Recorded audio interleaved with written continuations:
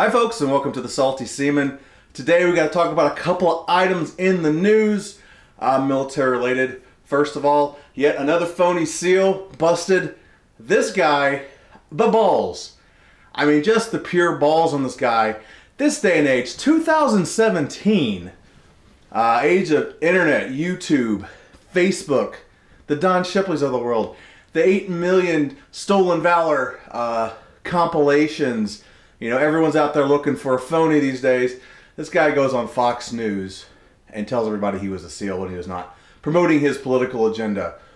So, boo, shame on you, actual Navy vet, Vietnam Navy vet. And what was his rank?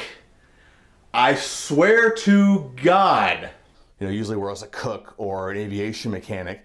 Lots of aviation mechanics seem to do this. I don't know why. But uh seems to be a lot of them, so they'll know the Navy.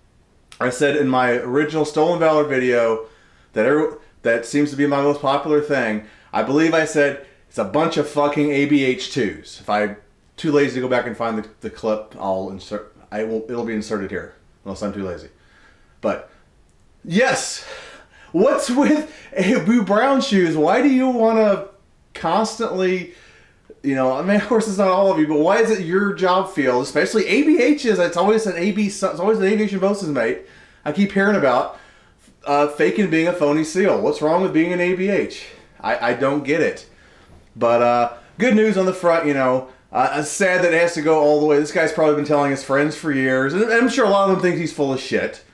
Because these guys tend to, the longer they talk, the more some people start to realize none of their shit makes sense. But uh, yeah, this guy didn't really get out until he got put on national news. So, but at least chalk up one for the uh, for the good guys, I guess. Um, item two, uh, executive order just signed.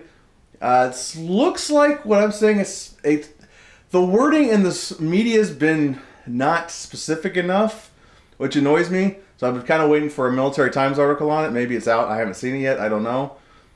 But uh, it's basically saying the wording is pilots who serve their time in the military, uh, retired, can be called back to active service. Um, okay, two thoughts on this. One, uh, you know, are they differentiating between fleet reserve and actual retired? That'd be my big question. Because uh, I don't think the, the, the civilian world really doesn't know how military retirement works, and there's two phases of it.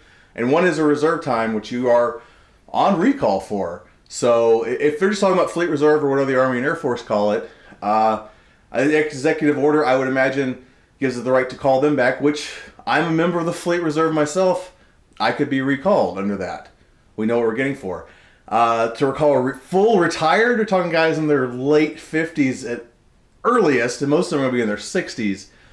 Most of them who are not going to pass a, re-entry, uh, what do you call a reentry uh, physical.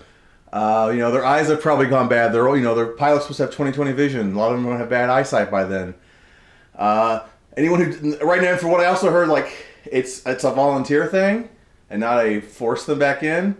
But uh, other people saying the language is Mercury. It could apply to IRR and uh, Fleet Reserve, everybody. And people pa- or people after IRR. Someone told me I don't know how that would work without a lawsuit. Pretty sure this, pretty sure that would be fought in the Supreme Court. Uh, if you're under no contract to the military and you've served your time, you can't really be redrafted. But uh, that would be an interesting thing. I don't think that's the case. I think this is talking about Fleet Reserve, and I think it's being uh, worded pretty badly in the press. The press doesn't understand military retirement. But we will see. I could be dead wrong. I've been wrong before. So, anyways, I think that's about it. Just want to give a little news update, let you know I'm still alive. College is hard. Got a lot of work going on. But, uh, couple more, I have another video topic I'll probably be putting out cup next couple days that I really wanted to focus on. And, of course, another military movie bullshit uh, coming up down the pike, hopefully by the end of next week. And that's it. I'll catch you freaks on the flip side. Peace.